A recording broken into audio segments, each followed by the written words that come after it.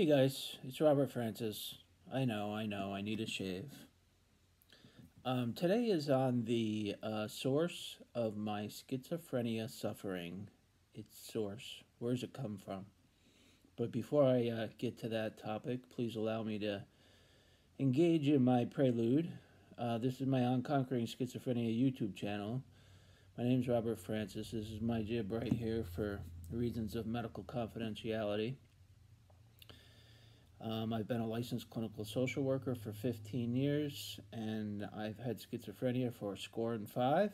That's 25 years, and that puts a little gray fleck in my beard.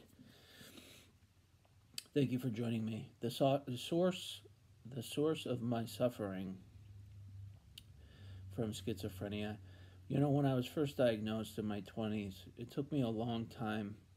I used to, when you're having paranoia and delusions, you awful you often think that people are out to get you, or people don't like you, or people are out to hurt you, etc., etc.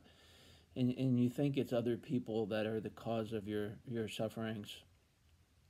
But what I've learned over time is the longer that you live with schizophrenia, the more you realize that it's not other people that cause you to have distressing feelings and distressing thoughts. It's more within your own head, your delusions, your voices, things that make you paranoid, those kind of things, mostly reside between my two my own two year uh, two ears, and really has little to do with the way that other people treat me or behave towards me.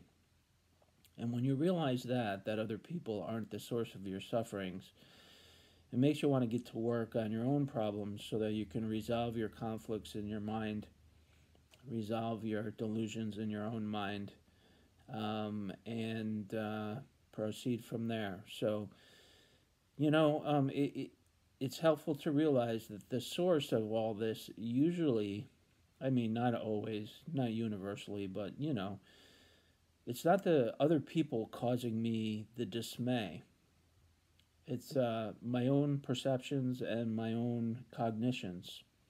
And so realizing that has really helped me to stay, be able to stay uh, very social around other people. That's it for today. I forgot to show you the bird. There you go. Go Red Sox.